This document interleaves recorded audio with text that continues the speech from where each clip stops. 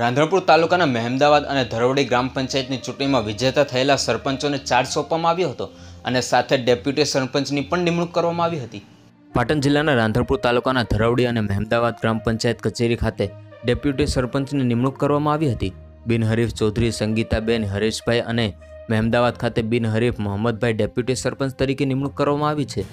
સાથે જ સાથે ધરવડી સરપંચ નયનાબેન વિજયકુમાર પરમારને ચાર્જ સોંપવામાં આવ્યો હતો ત્યારે મહેમદાવાદ ખાતે સહીદભાઈ આદમભાઈ સરપંચનો તાજેતરમાં યોજાયેલ ગ્રામ પંચાયતની ચૂંટણીમાં વિજય થયો હતો, જેમાં ધરવડી ગ્રામ પંચાયતના તમામ સદસ્યો, તાલુકા વિકાસ અધિકારી, તલાટી કમ મંત્રી ઉપસ્થિતિની અંદર પાટણ જિલ્લાના રાંધરપુર તાલુકાના ધરવડી ગ્રામ પંચાયત કચેરી ખાતે નવીન સરપંચ તરીકે વિજય થયેલા પરમાર, નયનાબેન વિજયકુમારને ગામની હાજરીની અંદર તાલુકા વિકાસ અધિકારીને ગ્રામ પંચાયત કચેરી ખાતે ચાર્જ સોંપવામાં આવ્યો હતો.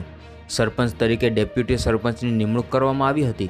આ પ્રસંગે ગામજનોની ઉપસ્થિતિમાં ડેપ્યુટી સરપંચ અને સરકારને ગામજનોની ઉપસ્થિતિમાં તાલુકા પંચાયત નાયબ તાલુકા વિકાસ અધિકારી પંડ્યા સાહેબ દ્વારા તાલુકા પંચાયત કચેરી ખાતે ચાર્જ સોંપવામાં આવ્યો હતો. ઉચ્ચ સરપંચ તરીકે બિનહરીફ વરણી થયેલી છે મહમદભાઈ રાવમાની અને જેના અંદર દસે દસ સભ્યો તથા સરપંચ બધાએ મળી અને તેમને બિનહરીફ ડેપ્યુટી સરપંચ તરીકેનું પદ આપેલું છે. એના અંદર આખું ગામ સહમત થઈ અને બહુ સારી રીતે અમારા ગામને આજ બિનહરીફ તરીકે વણી થઈ એટલે અમારા ગામનો સારો વિકાસ કરશે અને ગામના સારા કામકાજ કરશે એવી અમને એમના તરફથી ગામનો સંપ એમના તરફથી અમને એવી આશા આશા ઉમેદો રાખીએ છીએ અમે.